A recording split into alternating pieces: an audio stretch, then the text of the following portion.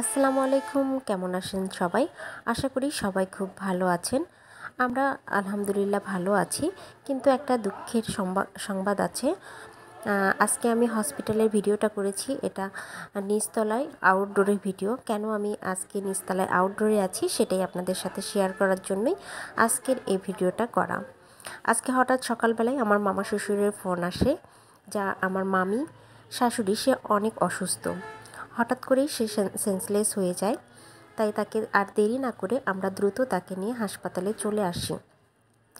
তো হাসপাতালে এসে এমার্জেন্সি বিভাগের ডাক্তার দেখে বলে যে দ্রুত তাকে অ্যাডমিশন করাতে হবে।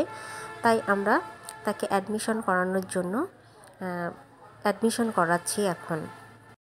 সেই ফাঁকে আপনাদের সাথে শেয়ার করার জন্য আমি এই ভিডিওটা করে ফেলি। তো তাকে অ্যাডমিশন করা হয়ে গেছে, তাকে অলরেডি ওয়ার্ডে নিয়ে চলে যাওয়া হয়েছে। তো আমি আপনাদের সাথে পুরো ওয়ার্ডটা ঘুরে ঘুরে দেখাবো, চলুন। এটা হচ্ছে হসপিটাল ওয়ার্ড, এটা মেডিসিন ওয়ার্ড, ফিমেল ওয়ার্ড। এখানে অনেক পেশেন্টই আছে এখানে।